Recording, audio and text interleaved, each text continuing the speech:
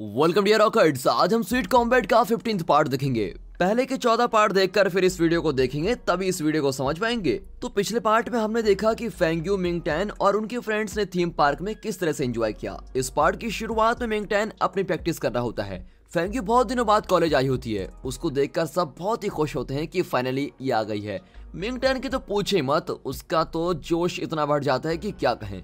जामी उसको प्रैक्टिस पर ध्यान देने को कहती है और अब ये सब प्रैक्टिस करने लगते हैं। और फिर कई दिन बाद अपने बॉक्सिंग ग्लव्स पहनकर फेंग्यू को बहुत ही अच्छा फील होता है। और मिंगटैन का सारा ध्यान फेंग्यू पर चलता रहता है। जामी उसको डांटती है कि तुम्हारा ध्यान किधर है? वो कहीं भाग थोड़ा रही है। तुम अपनी प्रैक्टिस पे ध्यान दो। और तब मिया आती है और कहती है कि प्रिंसिपल सर ने हम तीनों को बुलाया है। अगले सीन में ये तीनों प्रिंसिपल सर के सामने जाते हैं। प्रिंसिपल उनके सामने ढेर सारे स्नैक्स रख देते हैं और कहते हैं कि, खा लो बच्चों, ये सब तुम्हारे लिए है ये तीनों कंफ्यूज होकर पूछते हैं कि, सर, आज आपको क्या हो गया है? प्रिंसिपल कहते हैं कि, मुझे कुछ नहीं हुआ, लेकिन तुम तीनों इस कॉलेज की शान हो, इसीलिए मैंने तुम्हारे लिए ये सब मंगवाए हैं। अरे जामी चुप क्यों बैठी हो? जितना चाहो उठाकर खा लो। इस पर जामी जल्दी से एक पैकेट फाड़ कर खाने लगती है। तब प्रिंसिपल कहते हैं कि खाने के अलावा तुम तीनों ने इस कॉलेज में किया ही क्या है? और ये सुनकर जामी मुँह में डाला हुआ स्नैक निकाल कर नीचे रख देती है।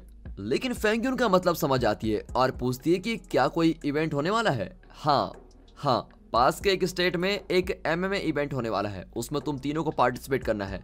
मिया कहती है कि यहाँ भी जो टूर्नामेंट शुरू होने वाला है। नहीं नहीं, तुम्हें उस इवेंट में ज़रूर जाना होगा, क्योंकि उस इवेंट के ऑर्गेनाइजर्स ने प्रॉमिस किया है कि वे हमारे कॉलेज को फंड देंगे। इतना ही नहीं, उस इवेंट में तुम तीनों को देखकर कई सारे नए बच्चे भी यहाँ आने की सोचेंगे, और ये हमारा एक एडवर्टाइजमेंट का ज़रिया भी हो जाएगा। तुम लोग इसको अपनी वैकेशन ही समझो, तुम्हारे लिए स्पॉन्सर्स भी मैंने ढूंढ लिए हैं, और ये सुनकर तीनों मान जाती है। अब अगले सीन में वे इस बारे में डिस्कस कर रहे होते हैं। फैंगू कहती है कि मैंगटैन को भी तो हमारे साथ चलना होगा, वही हमारा कोच होगा। बइनो कहते हैं कि मैं भी आऊँगा और आपके लिए खाना बनाऊँगा। जाओ में कहती है कि इसमें सिर्फ़ चार लोग ही जा सकते हैं। अगर तुम्हारा चाहो तो अपना खर्चा तुम्हें खुद ही करना होगा। अब इस पर बइनो बहुत ही उदास हो जाता है कि हाँ मुझे नहीं लेके जा रहे। अब मिंगटैन कहते हैं कि, मैं आपका कोच कैसे हो सकता हूँ? मुझमें तो इतनी काबिलियत भी नहीं है। तब तीनों से बताती है कि, तुम दूसरों के फाइट मोमेंट्स को बहुत ही अच्छी तरह से एनालाइज करते हो। इसीलिए हम तुमको अपने साथ लेके जाना चाहती हैं। तुम टेंशन मत लो, हमें तुम पर पूरा भरोसा है। तब फेंग्यू को उसके दादाजी कॉल करते हैं और तुरंत आने को कहते हैं। वो जल्दी जल्दी वहाँ से चली जाती है। फेंग्यू अपनी कंपनी में पहुँचती है तो वहाँ दादाजी के साथ उनके फ्रेंड का बेटा शबी होता है। अब दादाजी दोनों को अकेला छोड़कर किसी काम का बहाना करके चले जाते हैं। शबी कहता है कि तुम्हारे दादाजी चाहते हैं हम दोनों एक दूसरे को पसंद करें। क्या कल रात तुम मेरे साथ डिनर पर चलोगी? अब इससे पहले वो अपना मुँह बंद करता फेंग्यू कह देती है कि मैं तो कल बिज़ी हूँ। तो फिर क्या तुम नहीं नहीं नहीं, मेरे पास बिल्कुल भी टाइम नहीं है। इस तरह वो हर बात पर टाइम नहीं है टाइम नहीं है, ये कहती रहती है। तब शबी कहता है कि लगता है तुम मुझको इग्नोर कर रही हो। लेकिन अगर तुम्हारे दादाजी को पता चला कि तुम ऐसा कर रही हो तो वो बहुत ही परेशान होंगे। क्या मैं उन्हें बताकर परेशान करूँ? फैंग्यू पूछती है कि क्या तुम मुझको धमकी दे रहे हो? नहीं नहीं नहीं ऐसा नहीं है। लेकिन तुम्हारा बिहेवियर देखकर तुम्हारे दादाजी को दुख होगा। इस पर फैंग्यू कहती है कि तुम मुझे डिनर पे ले जाना चाहते हो ना, है ना? तो ठीक है, मैं चलूँगी। पर मुझे एक ऐसे रेस्टोरेंट में जाना है जहाँ का शेफ फ्रेंच हो, लेकिन वो चाइनीज़ फ़ूड बनाता हो। और अगर तुम्हें ऐसा रेस्टोरेंट मिल जाए तो मुझको बता देना, मैं चले जाऊँगी।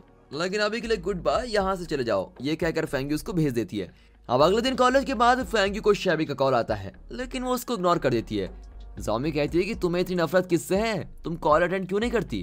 फेंग्यू कहती है कि, ये मेरा पर्सनल मामला है यार। अब जामी जिद पकड़ लेती है कि फिर तो तुमको मुझको ज़रूर बताना पड़ेगा कि ये मामला है क्या। उसी वक्त शैबी कॉलेज के बाहर फेंग्यू का इंतज़ार कर रहा होता है। तब मिंगटैन बाहर आता है। शैबी को देखकर उसे उस दिन की याद आती है जब रेस्टोरेंट में वो फ़ोन पर किसी को बता रहा था कि पापा की जिद की वजह से ही मैं फैंगू से बातचीत कर रहा हूँ, वरना ऐसी पागल लड़की से कौन बात करेगा?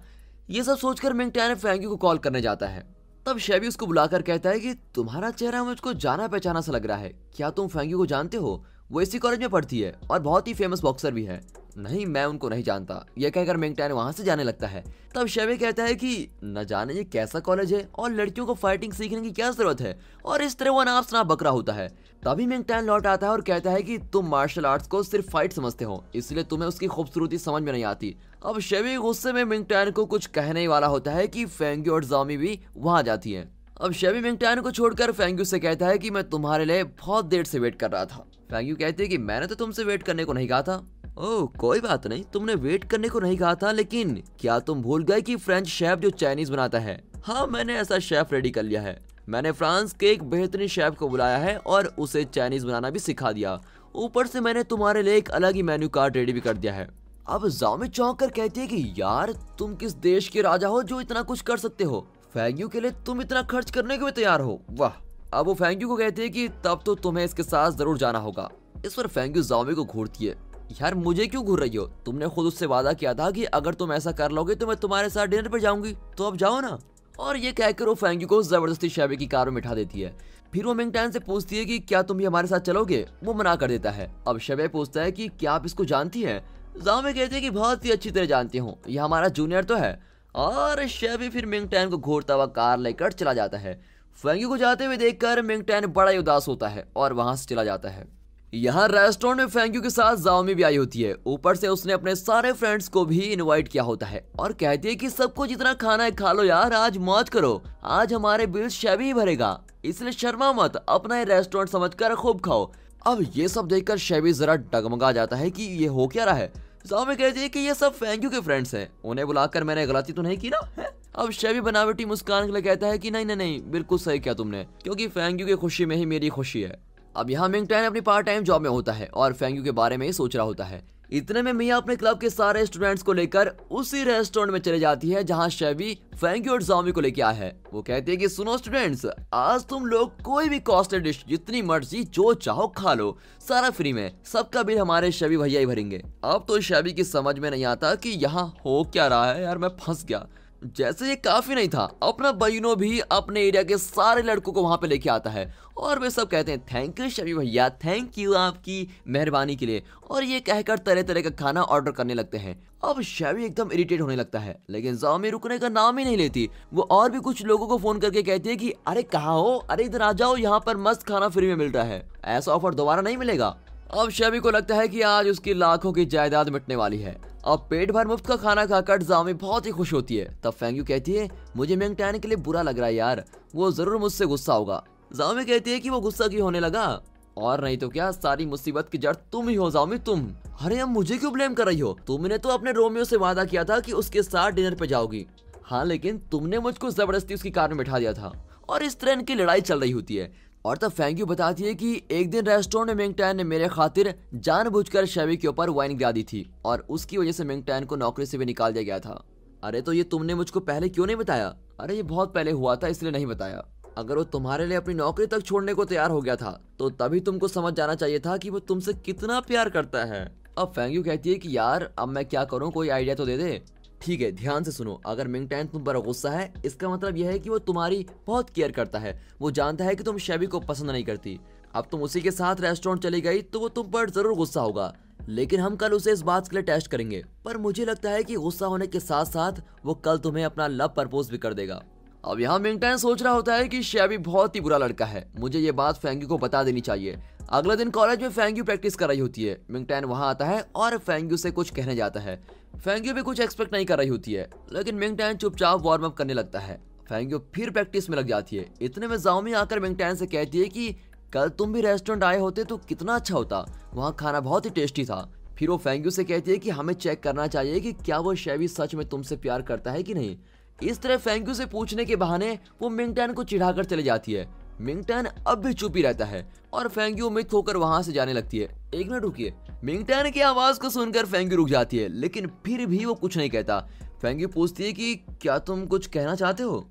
तब मिंगटैन कहता है कि क्या आपको शबी पसंद है? फेंग्यू जरा सोचकर कहती है कि मैं ये तो नहीं कह सकती कि वो मुझको पसंद है, लेकिन मैं उससे नफरत भी नहीं करती। ये सुनकर मिंगटैन कहता है कि किसी भी हालत में आप उस पर भरोसा मत करना। वो आपको धोखा दे सकता है। वो आपको दिल से नहीं चाहता। आपको ऐसा कोई और ज़रूर मिल जाएगा जो आपको सच्चे दिल से चाहता है और आपका ख्याल भी रखेगा और सच में आपको भी वो बहुत पसंद आएगा। इसीलिए आप जल्दी से कोई फैसला मत लीजिए।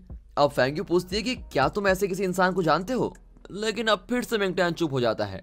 अब फेंगू डायरेक्टली पूछ लेती है कि मैं जिसके बारे में सोच रही हूँ, क्या तुम भी उसी के बारे में सोच रहे हो? मिंगटैन हाँ कहने जाता है, लेकिन तभी उसको कुछ याद आता है कि एक दिन फेंग्यू मिंगटैन के घर पर अपनी बोतल भूल आई थी और वो उसको लौटाने गया था तो फेंग्यू ने जॉमी से कहा था कि मिंगटैन कभी मेरी बराबरी नहीं कर सकता। और अब ये सोचकर वो कहता है कि आपके सवाल का जवाब मैं नहीं जानता। हाँ लेकिन इतना जानता हूँ कि शैवी वो इंसान नहीं है। आपको उस इंसान का इंतज़ार करना चाहिए जो आपके दिल को सच्चे से प्यार करे। आपको अपने लवर का इंतज़ार करना चाहिए। ये कहकर वो चला जाता है। फेंग्यू सोचती है कि लो, इस बार भी अपना मुँह नहीं खोला इसने, बताओ यार। अगले सीन में जाओ में फेंग्यू को डांटती है कि अगर वो कुछ नहीं कह पाया तो तुम्हारे मुँह में क्या चने चब रहे थे? तुमने क्यों नहीं कहा कि मिंगटैन, तुम ही वो इंसान हो जिससे मैं प्यार करती हूँ। और तभी मिंगटैन को वहाँ से जाते हुए देखकर जामिस को बुलाती है। फेंगी उसको वॉर्न करती है, देख ले, उसको कुछ मत बोलियो, कुछ मत बोलियो। हाँ ओके नहीं बोलूँगी। तो मिंगटैन आता है। जामी कहती है कि इस कॉलेज में सिर्फ़ दो लड़के पढ़ते हैं, इसलिए मैं तुमसे लड़कों के बारे में एक डाउट पूछना चाहती हूँ। एक्चुअली दूसरे कॉलेज में मेरी एक फ्रेंड है, उसे अपने जूनियर से प्यार है, और लगता है जूनियर को भी मेरी फ्रेंड से प्यार है। तब मेरी फ्रेंड का दूसरा फ्रेंड ज़बरदस्ती उसे कॉलेज से लेके गया, लेकिन वो उतना अच्छा लड़का नहीं है। अब थैंक यू अपनी आँखों से जामी को डांटती है कि इसके आगे मत बोल मत बोल, वरना मिंग टैन को पता चल जाएगा। लेकिन जामी रुकती नहीं और कहती है तो अब तुम ही बताओ कि क्या उस जूनियर को मेरी फ्रेंड के लिए पॉजिटिव होना चाहिए या नहीं? तब फेंग्यू जामी को पंच करती है और जामी धड़ करके नीचे गिर जाती है। और तब फेंग्यू कहती है कि इसने कल रात कुछ ज़्यादा ही खा लिया था, इसलिए इसके ब्रेन में कुछ प्रॉब्लम आ गई है। और ये कहकर वो जामी को उठाकर वहाँ से भाग जाती है। लेकिन यहाँ मिंगटैन को जामी की बात याद आती है तो उसे लगता है कि शायद वो जूनियर तो मैं ही हूँ। अब रात को फेंक्यू थीम पार्क की फ़ोटोज़ में मिंगटैन को देख रही होती है। वो सोचती है कि अगर आज मैंने जामी को मारा नहीं होता तो शायद पता चल जाता कि मिंगटैन मुझसे प्यार करता है या नहीं। अब यहाँ मिंगटैन में थीम पार्क की फ़ोटोज़ को देखकर कहता है कि जूनियर को पॉजिटिव ज़रूर होना चाहिए। अब अगले दिन फेंक्यू के दादाजी उसको बताते हैं कि तुम्हें जरा जल्दी दुबई जाना होगा, यानी पंद्रह तारीख को। लेकिन फेंक्यू कहती है कि मुझे कॉलेज से एक इवेंट में भेज रहे हैं। लेकिन दादाजी उसकी बात नहीं मानते।